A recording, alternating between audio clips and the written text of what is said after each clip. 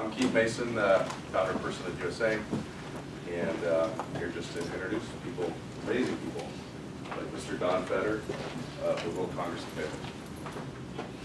Okay, um, I was hoping there'd be a microphone, but there isn't, so can you all hear me? Yes. You might want to move just a bit closer, if that's possible. Uh, Ladies and gentlemen, the greatest crisis that humanity will confront in the 21st century won't be global warming or a super virus sweeping the planet or a regional conflict going nuclear. We won't run out of oil or other natural resources anytime soon. However, if the current trends continue, we could very well begin running out of people in this century. The problem, it's very real and very scary, is declining fertility, also known as demographic winter. We start with a number, 2.1, also known as replacement level fertility. Now that's the number of children the average woman must have in her lifetime just to replace current population. More in your population increases, fewer in your population declines. By the way, for a nation as a whole, this is known as its total fertility rate, or TFR. Now here's a rather startling statistic. Worldwide, fertility has fallen by over 50% in less than 60 years. In other words, in 1960, the average woman on this planet had five children. Today, the average woman has 2.6, and that number is declining. Today, every industrialized nation has below replacement fertility, in some cases well below replacement. Japan's total fertility rate is 1.39. That's roughly 66% below replacement. In the last 25 years, Japan's over 65 population has almost doubled, going from 11.6% to 21.2%. In 2012, Japan lost 100,000 people. It's estimated that by the midpoint of this century, the Japanese population will decline by 25%.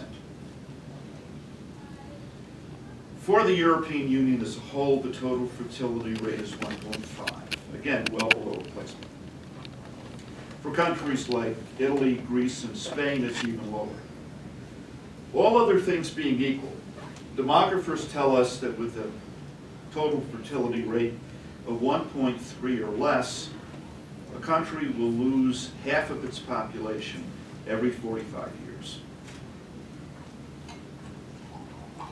The collapse of fertility will lead to a world with fewer and fewer children and more and more elderly.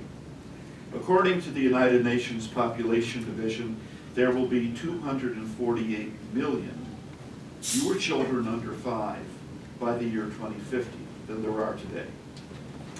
Consequently, we will have a smaller childbearing base in each generation, resulting in a downward spiral. Now, in the past 200 years, every human advance, from the Industrial Revolution to the computer age, has been accompanied by robust population growth.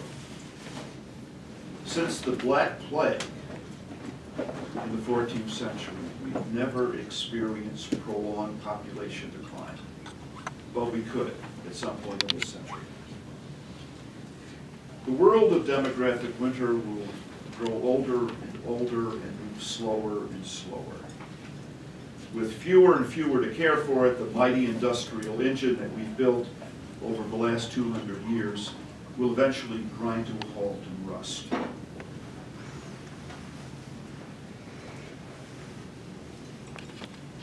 Not to put too fine a point on it, but the world that we know is dying. It's not homicide, it's suicide. Declining fertility can be traced to the 1960s and what's come to be called the youth rebellion, or youth culture, although its roots lie decades earlier. The hallmark of the 1960s, and I was part of that generation, by the way, was the rejection of authority, especially parental and religious authority. Supposedly, this was a sign of intellectual maturity and independence. In reality, it was blind acceptance of a set of cliches in place of eternal truths. Chief among these cliches was do your own thing, which roughly translates as live for yourself. If you embrace this axiom, you become the warm, pulsating center of your own universe. Planet U in the galaxy Dennis Rodman. Along with self-centeredness came a lessening of feelings of responsibility for the things that really matter. Curiously, we now feel responsible for endangered species, the rainforest, and the ozone layer, things over which we have absolutely no control, but not for our families, our nations, and our people. In the past, men and women didn't ask why have children any more than they asked why breathe or why eat. It was such a natural part of existence that it required no explanation. You had children because you had a responsibility to your family to assure its continuity. You had a responsibility to your people so that they would not go the way of the Babylonian and the Phoenician, whose downfall probably began when they started to fund Planned Parenthood. And you had a responsibility to the God who created you and made procreation or fertility the first commandment. Out of the youth rebellion came the sexual revolution, a term used to denote a sea change of attitudes and behaviors that included first separating sex from procreation, then from marriage, and finally from love or any sense of commitment. Pornography, premarital sex, promiscuity, and homosexuality were all normalized. Abortion was legalized and is now enshrined as a fundamental right throughout the Western world. We've gone from criminalizing sodomy to criminalizing the refusal to celebrate sodomy. The sexual revolution, ladies and gentlemen, shaped the world we live in more profoundly than anything that's happened in modern times. In fact, you might say more profoundly than anything that's happened in the last 500 years. Its prophets include Sigmund Freud, feminists like Margaret Sanger, the mother of the abortion industry, advanced men posing as researchers like Alfred Kinsey and Masters and Johnson, and pornographers like Hugh Hefner, all aided and abetted by the political, cultural elite, Hollywood in particular. The sexual revolution rests on six axioms. One, when, sense, when, excuse me, when sex is consensual, it's always good. Two, the primary purpose of sex is pleasure, not, char- not childbearing or spiritual connection. Three, the primary purpose of life is pleasure. Four, inhibitions lead to neuroses and should be avoided at all costs. Five, sex has nothing to do with morality. And six, sex is not only values-free, but should be free of consequences. Hence, legalized abortion and subsidized contraception. The effects of the sexual revolution on fertility have been profound, far-reaching, and possibly irreversible. For the first time in human history, just under half of the world's population of childbearing age uses some form of birth control. The global contraceptives market generates an estimated $17 billion annually. This is financed primarily by governments, NGOs, and employers. Other species have become extinct. Ours may be the first to subsidize its own extinction. By the way, if there's anyone from the Human Rights Campaign in the audience, I'm not suggesting that contraception be illegal. I'm simply saying that contraception is one of the contributing factors to declining fertility.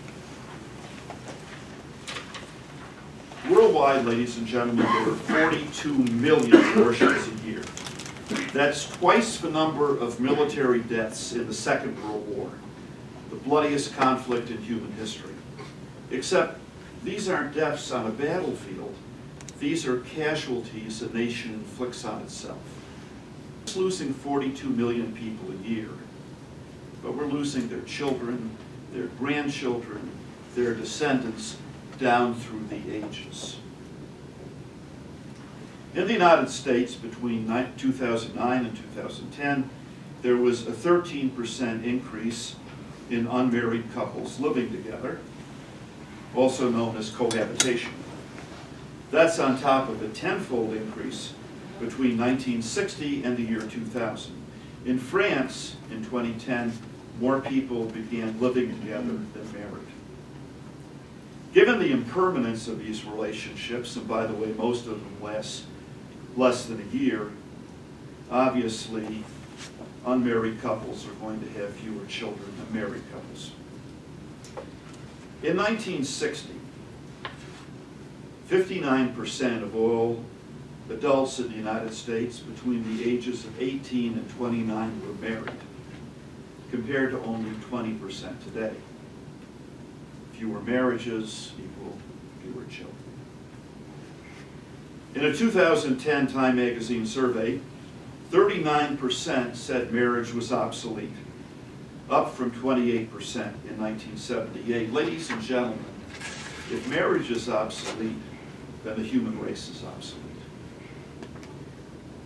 By the way, those who think marriage is outdated should consider the words of Raquel Welch. In an article last year, the 1970s sex symbol wrote, quote, is marriage a viable option? I'm ashamed to admit that I myself have been married four times, and yet I still feel that it is the cornerstone of civilization and an essential institution that stabilizes society, provides a sanctuary for children, and saves us from anarchy. Now, if time allowed, we could discuss the effects of the decline of faith on fertility. In Europe, empty churches have led to empty hearts and empty cradles. By the way, there's a very simple formula for determining who's having children and who isn't. Those who have faith in the future have children. Those who don't, don't. Where does faith in the future come from? Comes from faith. It comes from religion. By the way, for those of you who aren't aware of it, Utah has one of the highest levels of church attendance in the United States and also the highest birth rate.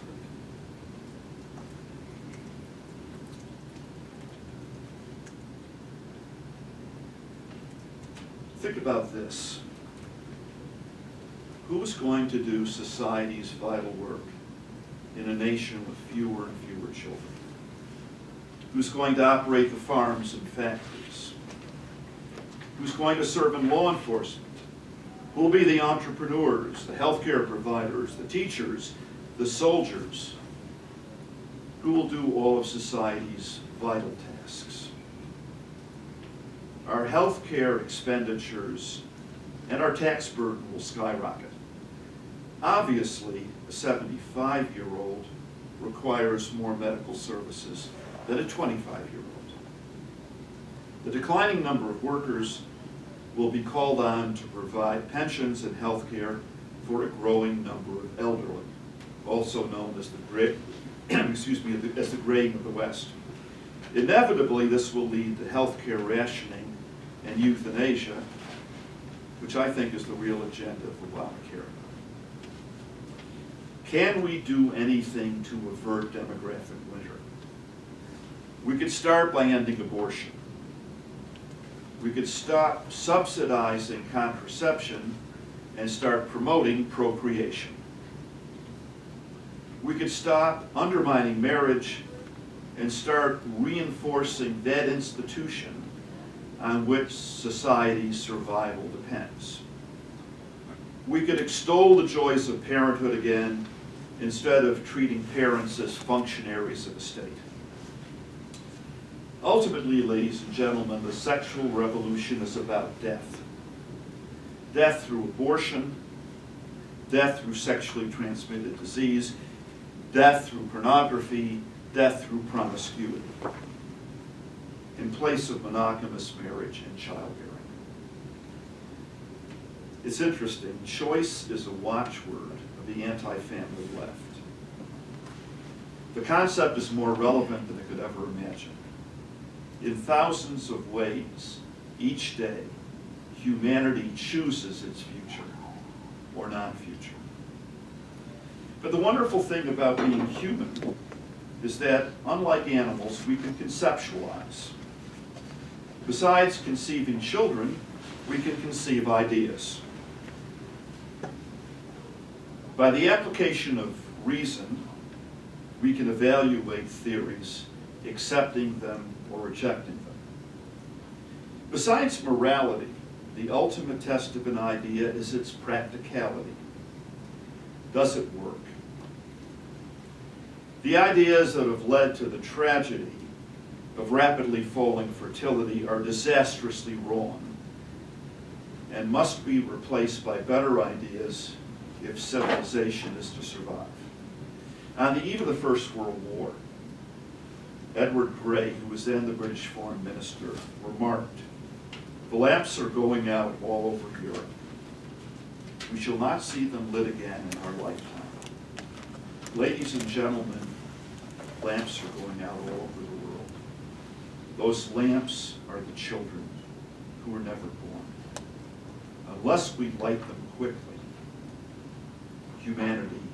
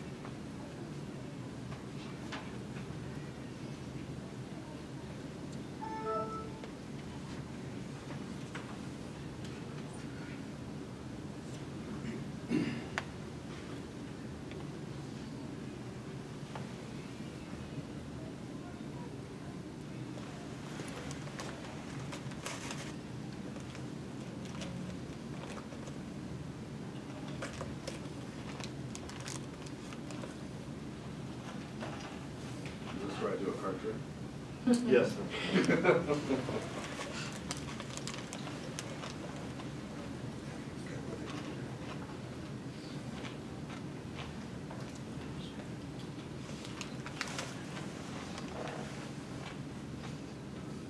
So Don, while we're waiting, do you have um, contact uh, information where we could get a copy of your speech? Yes, but I'll, I'll tell you, better than my speech is a documentary.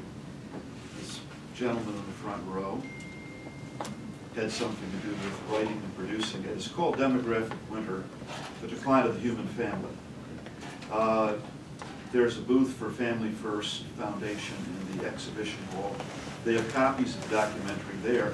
Besides that, besides Demographic Winter, the documentary, I would recommend to all of you a novel.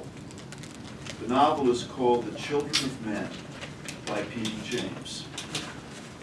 It is a very poignant story about a world where the last child was born 25 years before due to a worldwide plague of infertility. I think it gives you a clear idea of where we're headed. Not all at once, but gradually. Okay, thank you very much. Thank you. Sorry for this. I'm sorry I took some of your time. So let me introduce myself. Uh, uh, I am Vladimir Mishchenko. I'm from Moscow, from Russia. I have a PhD uh, degree in sociology. Um, I took part in a couple of previous uh, world congresses uh, in Sydney, in Madrid, and I'm happy to meet all of you here at the World Congress of Family, organized by our old partners. So uh, today I'd like to speak frankly about the way not indifferent people um, try to secure family values and Christian family in Russia. If you have any questions, do, do not hesitate to address to me in the end of my presentation. Uh, so uh, I'm uh, vice president of uh, St. Andrew Foundation. Mm, it is one of the oldest and uh, um, biggest uh, social organization in Russia. Uh-huh. And uh, the main program, program of our uh, organization uh, is uh, Sanctity of Motherhood. Well, in the slide you can see words of great Russian writer Alexander Solzhenitsyn, who lived in US for a long time. Today the efficiency of uh, social structure should be estimated according to its ability to ensure the reproduction of population. In this slide, I have presented the most common demographic tendencies of the world. Almost half families in the world have one or maximum two children. The same works for Russia, where 94, 95% of families have one or two children and two-thirds of such families have only one child.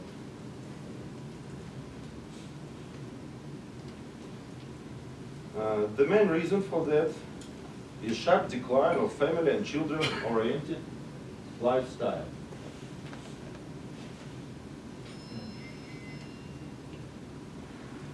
I can back it up with numbers of birth rates in the slide. You can see that birth rates in different countries uh, declined for more than twice.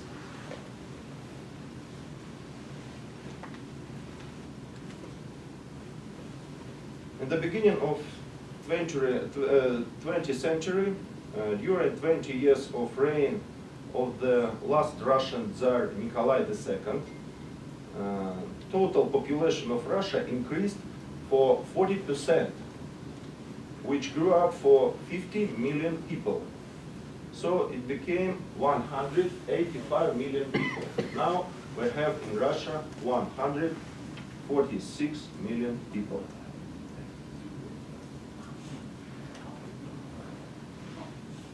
During the reign of Nikolai II, uh, Russia was the third country in the world uh, after Great Britain and China with biggest population.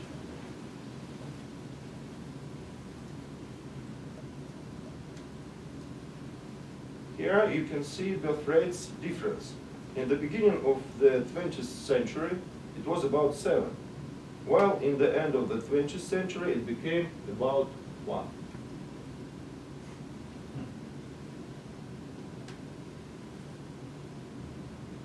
State policy in the beginning of Soviet era uh, in Russia aimed at destruction of family as social institution.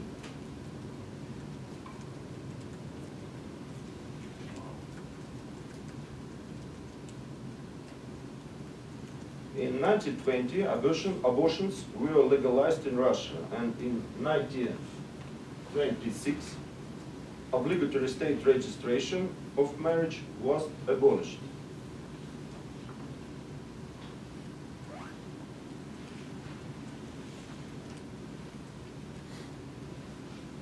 After the Second uh, World War, abortions were prohibited in Russia. You can see here the diagram of birth rates in Russia during the 20th century. Vladimir, can you point out, can't quite see that, can you point out uh, where? we- Now, N- you, you mean now? Or what? What point? Yeah, nineteen forty-two. Is that where the, the, the dip is?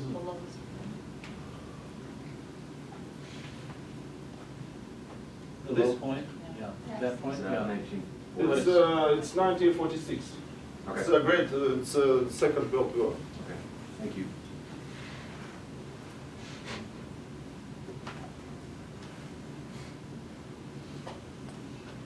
In the early 90s, Russia started its development under liberal model of society, uh, where state pro-family policy was destroyed. The population was the result of this process. This made Russian government in 2006 start pro-family policy.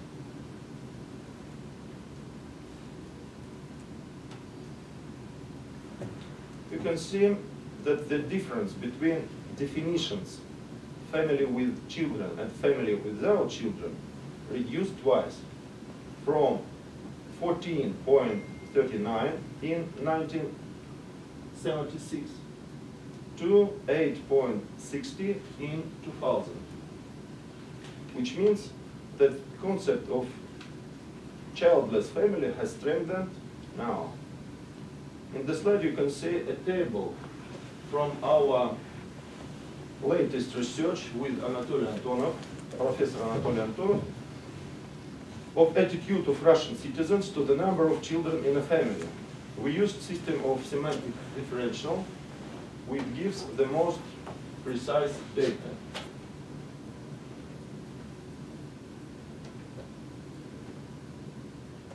Professor Anatoly Antonov says that Russia shall have 55 of families of more than three children so that not to die out. That's- Now we have 5% of this family.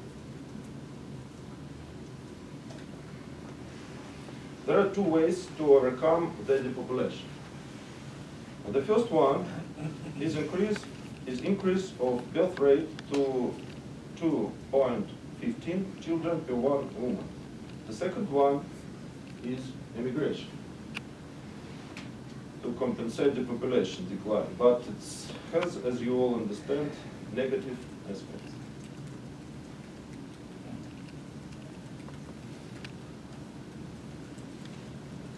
In order to overcome the population in Russia, there should be 10% of families with one child, 35% with two children, another 35% with three children, uh, 17% with four children, and on top, 3% with five or more children.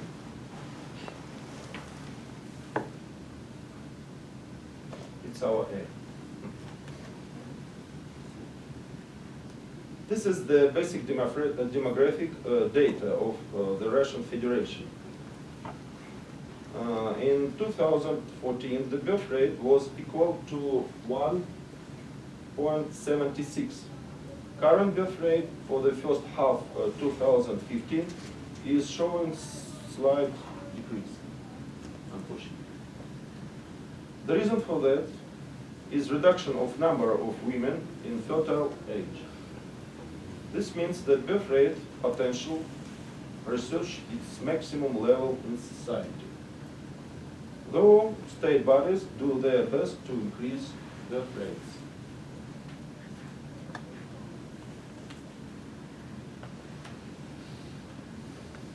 Mr. Putin defined family with three children to become the main demographic goal of pro-family policy.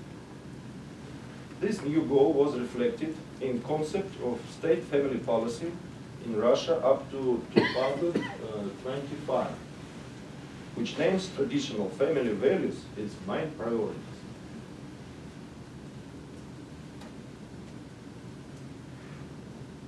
Such change of state family policy in Russia resulted in increase of birth rates and number of people.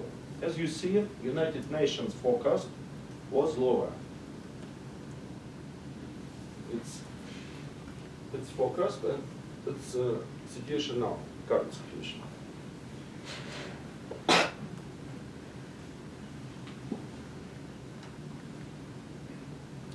Here the main spheres of family values support economic, social, psychological and medical measures.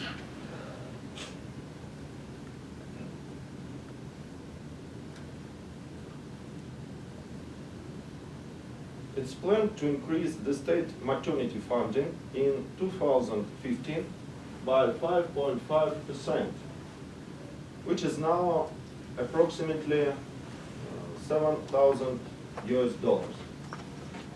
But uh, before economical crisis, it was approximately 14,000 dollars. Uh, unfortunately, state funding of maternity uh, did not increase necessity in ch- children, but only accelerated birth of the next child.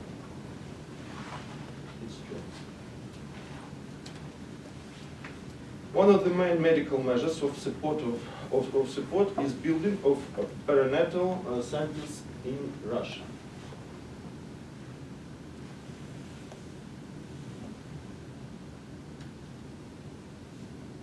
In this graphic, you see that uh, both young and adult Russian respondents declare that family is the main value.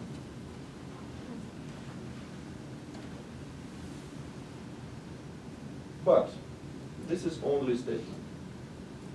In fact, we see that there are a great number of divorces and uh, childless families.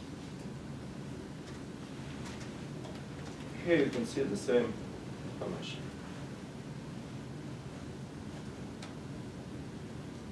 I have already told about the role of social organizations in Russia. One of the most well-known organizations is St. Andrew Foundation. Uh, and our program, Sanctity of Motherhood, uh, headed by Natalia Yakunina.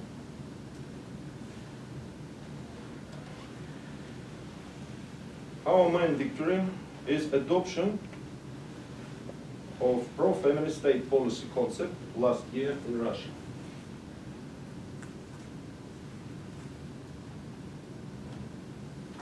Here you see our activity in parliament, uh, in parliament life of Russia.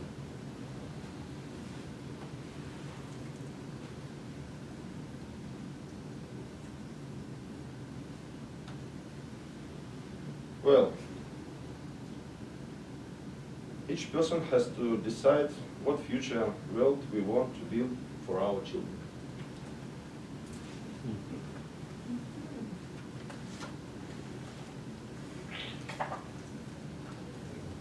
We have to coordinate Russian demographic policy to consolidate Russian society and strengthen pro-family policy. Thank you for your attention.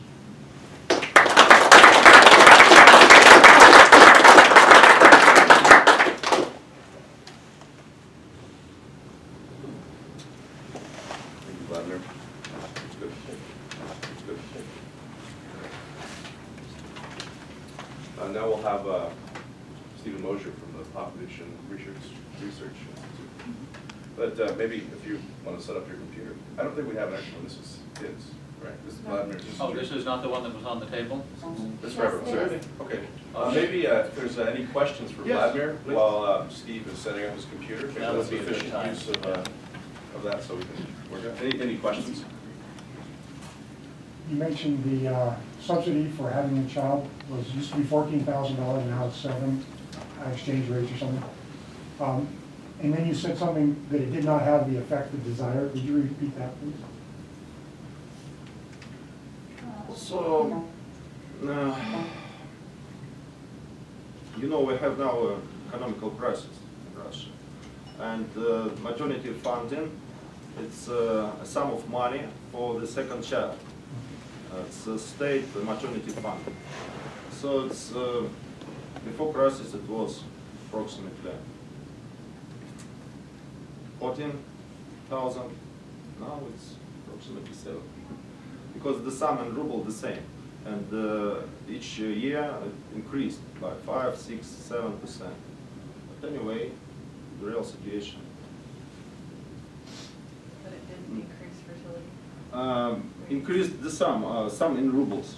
Uh, money, ma- ma- yes, maternity fund. But paying the maternity fund didn't increase the uh, reproduction rates? It didn't No. have a- a positive. Yes, uh, our uh, birth rates increased, but uh, I, I told that uh, it is only accelerated process.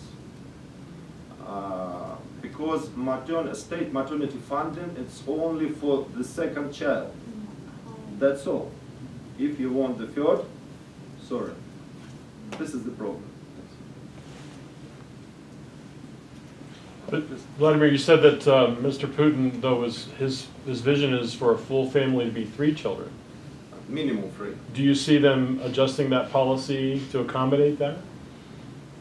It's um, very difficult uh, goal, very difficult uh, aim, because now uh, I told you that we have uh, approximately five percent of family like this. So family with uh, three and more children. Now five percent, but we need minimum fifty-five percent. So uh, we have economical crisis, we have something one, and so on. But uh, anyway, I think that um, mine is not uh, the main reason uh, for for birth. So I think uh, we have to change our mind. And uh, this is uh, the main thing, and uh, where as uh, we are as uh, social organizations, we understand it. And we try to do something in this uh, field, in society life. Do you have any contact information for you to get some of your, do you have a website or something we can Yes. review some Yes, of the slides? Can Great. Thank you. Steve, what? Well, I'm sorry, I was a little late today. I was double booked. And uh, despite 30 years of public speaking, I've never been able to figure out how to bilocate. I don't have a twin, so I only got to hear part of your excellent presentation.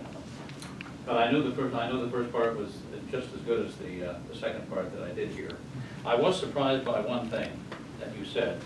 I was surprised to hear you quoting Raquel Welch, who's been married four times on the importance of marriage.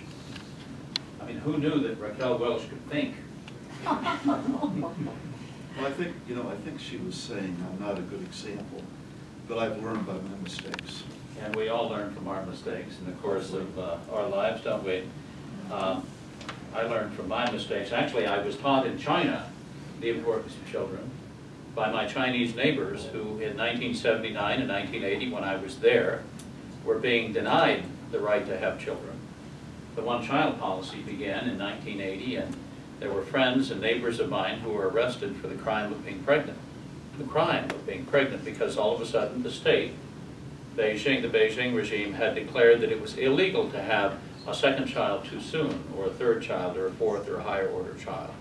And so all of the women in the commune that I was living in, which was Junan People's Commune, were, who were pregnant were told that they would have to terminate their pregnancies.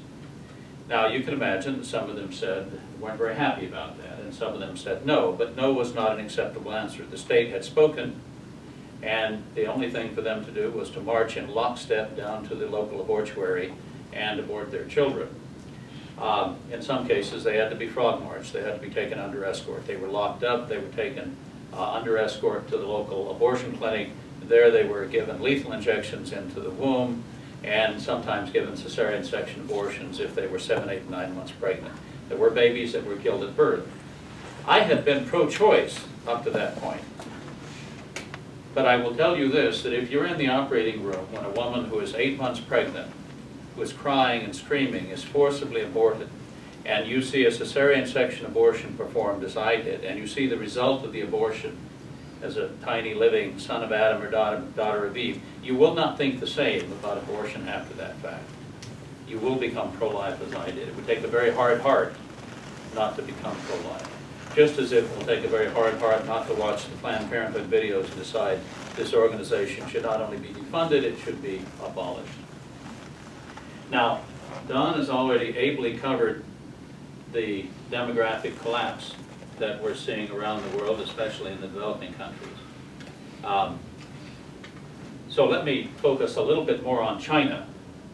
Now, when I arrived in China in 1979, this was right after the high tide of, uh, of, of Maoism, when China's hundreds of millions of peasants had been forced to join agricultural collectives, sometimes 10,000, sometimes 100,000 people strong, and farm the land in common.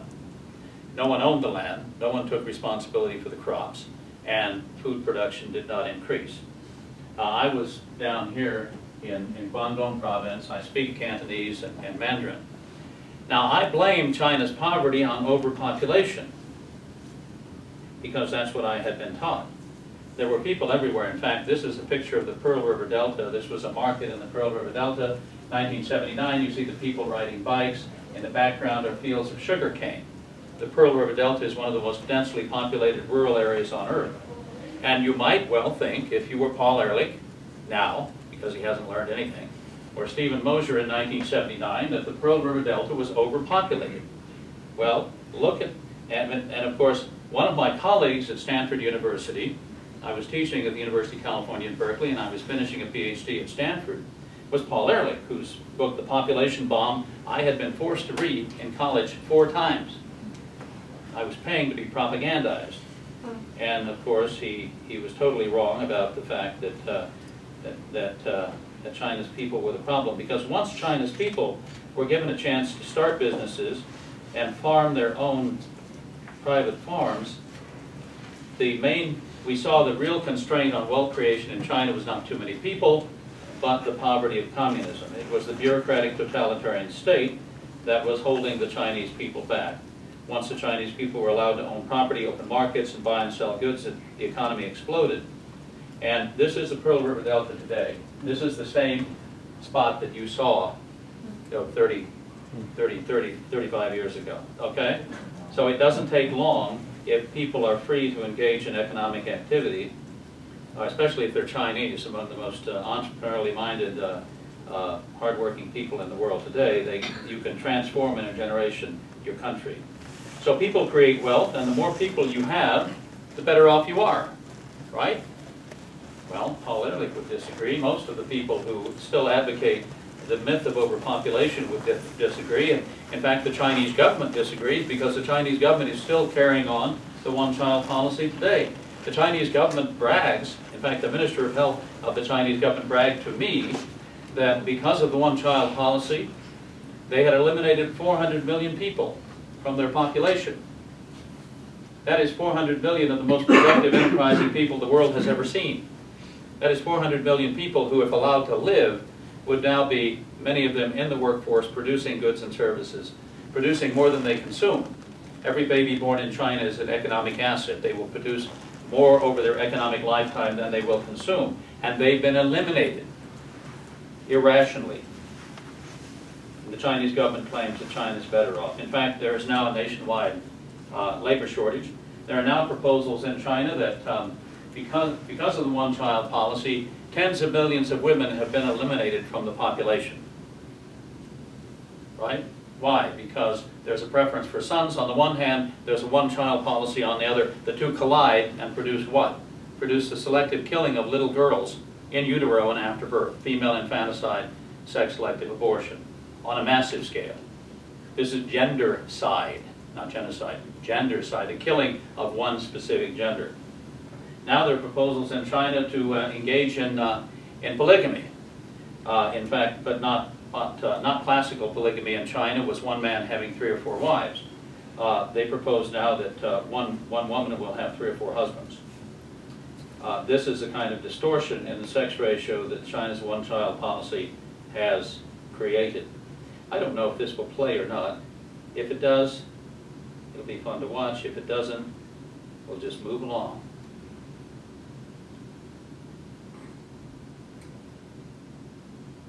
Now, I hope you can hear it. When human beings first showed up on this planet, there weren't very many of us. And we faced a hard life of meeting our basic needs. Chances are, early humans spent a good deal of time hungry, cold, and without shelter. That is to say, poor. According to the World Bank, poverty is when people are deprived of well-being as a result of low income and aren't able to get the basic goods that they need for survival with dignity. How did any of the human race advance beyond poverty? We kept multiplying and we formed communities. In communities, people stop spending all their time on simple survival and are able to do things like divide up tasks, share resources, and pool their mental energies to come up with creative solutions to problems. These communities started with families, then grew into extended families, entire tribes, and then finally cities and nations. So what effect has this growth had on poverty? According to demographers, a very good one. In fact, history shows that as our numbers have grown, so has our average standard of living. Scientists measure this standard in everything from per capita income, the average amount of calories consumed, even average height. And all of these averages have been increasing. Even though poverty still exists, the percentage of poor people has actually decreased as population has grown. The reason for this is that human beings are not simply consumers, we are producers. This is why, over the ages, we have learned how to do things like produce more food on less land, find better energy sources, and make sure that more people have enough to eat and a roof over their heads. And this is also why, though urban poverty is still a huge problem, statistics show that the poor who move to large communities actually have better chances of rising from poverty than they did in areas where there were fewer jobs and less opportunity. For this reason, poverty is a problem that is not solved by eliminating people. Poverty has always been a problem, even when there were scarcely any people on the entire planet. People are the only proven way out of poverty. Removing them will only leave the poor right where they started. Think about it.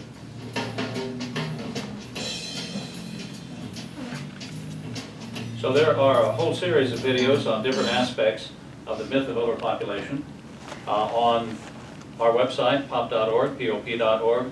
Also on our other website, overpopulationisamyth.com. Overpopulation is a myth.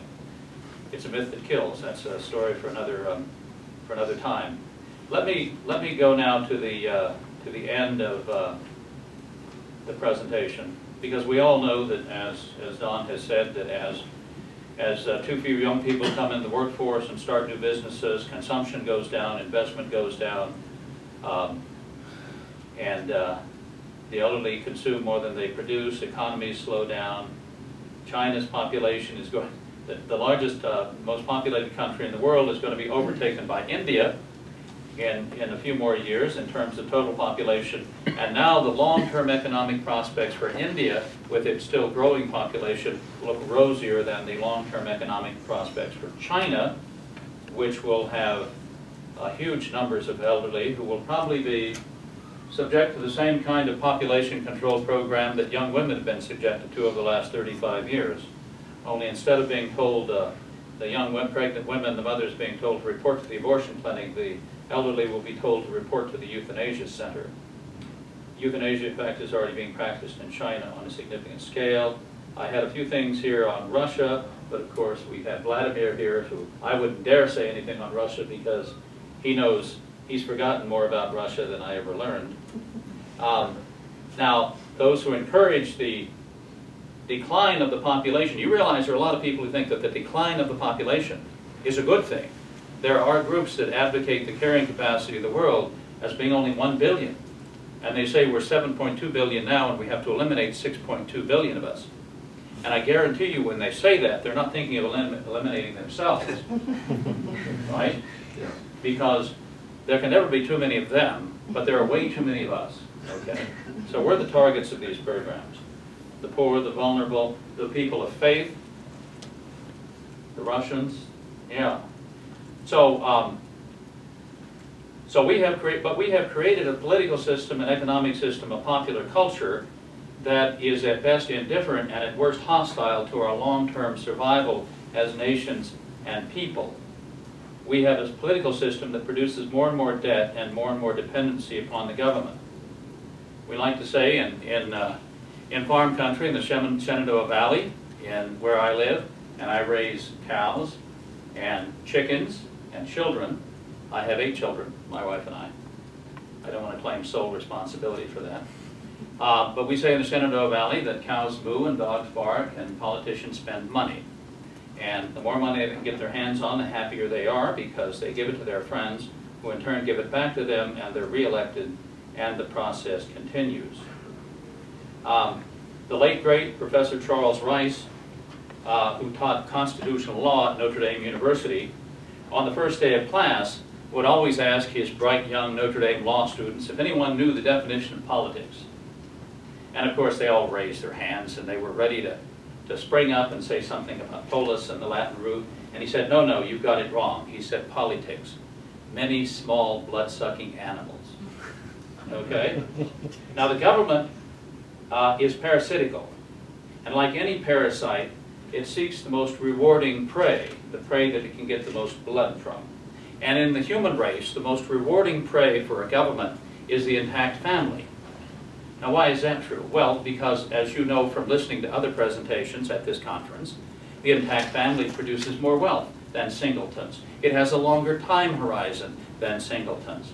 It is most of the wealth of a country, including the United States, is concentrated in the hands of couples who have been married for 20 and 30 and 40 years and who have scrimped and saved and prudently planned uh, for their retirement. Uh, people who are single tend to, to squander their wealth. So in the United States, when we began setting up generous welfare programs in the 60s, who was going to fund it?